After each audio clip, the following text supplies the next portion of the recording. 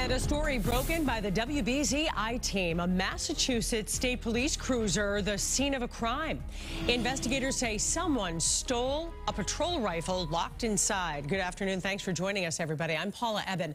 Sources tell the I-Team this may be a professional job. WBZ's Anna Meiler is in Malden with what we've learned so far. Have been at this apartment complex for hours investigating after thieves broke into a marked Massachusetts State Police cruiser that was parked inside of this garage and stole a patrol rifle. That is really crazy. I can't believe that something like that would happen.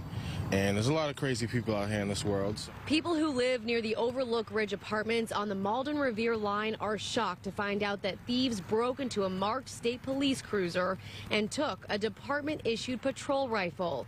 State police say the cruiser was locked and the rifle was secured in a mount. Sources tell the WBZ I team the cruiser belongs to a trooper assigned to the airport.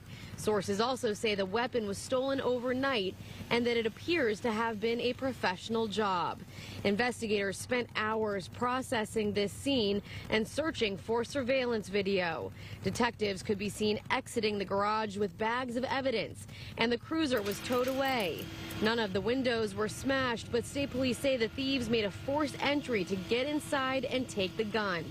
People who live here are worried about the intentions behind the burglary. It's surprising. It's a little concerning, but um, it's the first time that I've heard of that happening. At least, well, if they find them and take take the gun away, but.